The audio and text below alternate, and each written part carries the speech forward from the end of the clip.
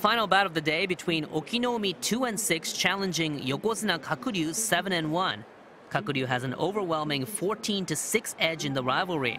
Kakuryu suffered his first loss this basho after being bulldozed out by Tamawashi. Okinoumi pummeled the Yokozuna back in September 2016 with a kotenage. Kakuryu can't get that left hand frontal grip, but all he needed was that right hand outside grip. Kakuryu stays poised and maintains his one-loss record, along with Sekiwake Tochinoshin and rank and filer Asanoyama. This eighth victory means a kachikoshi for this May tournament. Kakuryu slides in and extends to snatch a left-hand frontal grip, but fails. But the Yokozuna grabs a solid right-hand outside grip to take command. So can't get that left hand.